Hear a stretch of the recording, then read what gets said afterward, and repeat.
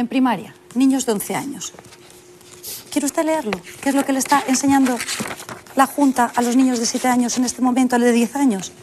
¿Quiere leerlo? Porque a mí me da pudor. En el punto 5. ¿Qué es la masturbación? De madre a padre. Esto, enseñárselo a los niños, a los niños de 10 años, si a su hijo, si a sus hijos, si a mi hijo se le acerca un hombre o una mujer en el parque y le habla de la masturbación, llamaría a la Policía Nacional. Ustedes han metido a esas personas del parque en las aulas andaluzas.